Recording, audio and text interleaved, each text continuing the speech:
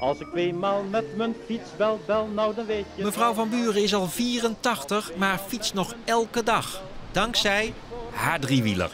Maar een driewieler hoor ik u denken, dat is toch een fiets voor een kleuter of gehandicapte? Nou, nee hoor, het moet binnen afzienbare tijd het vervoermiddel voor ouderen worden. Want die scootmobiels, dat is wel prachtig natuurlijk, maar je zit altijd. Je zit, je zit, je zit thuis en je zit buiten weer. Hè, dus en dat is juist zo mooi dat je dan in beweging blijft. Instanties hebben het zo vaak over valpreventie. En de driewielfiets voor ouderen is gewoon het antwoord daarop.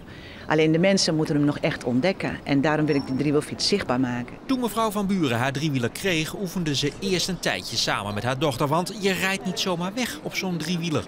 Dus ik durfde niet alleen, want uh, ik reed nog wel eens zomaar plotseling in een heg als er een kuil zat of zo. Dan merk je toch als je gaat sturen dat je gehinderd wordt door de twee wielen achter. En daar zul je aan moeten wennen. Zorgt u ervoor dat uw linkerbeen omhoog is, hè? Dus dat Ja. de trap boven is. Ja. En nu recht naar voren kijken.